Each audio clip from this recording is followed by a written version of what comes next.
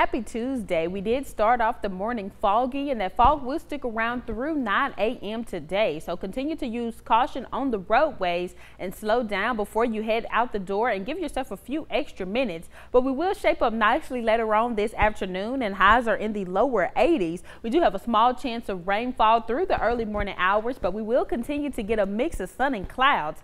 67 degrees as we approach 8 a.m. this morning, 79 as we head into lunchtime and again that light chance of rainfall will stick around through 3 p.m. today. Headed into 5 o'clock, the rain is tapering off, but we do remain fairly warm in the lower 80s by 5 p.m. For tomorrow, though, highs are cooling down to 75 degrees. A cold front system comes through early Wednesday morning, cooling us down and also ramping up our rain chances. So once the rain starts on Wednesday, you want to be sure to keep that umbrella closed because it will continue for Thursday and Friday of this week as rain chances continue to increase on Friday. We do get a small break from the rain for Saturday before rain chances continue into Sunday and through next week as well. But Tomorrow, we're waking up out the door to light scattered rain showers that's going to last for much of the morning into lunchtime. Still talking hit or miss showers and not a lot of significant rainfall to worry about. But by 3 p.m. on Wednesday, lasting through about 7 o'clock that night,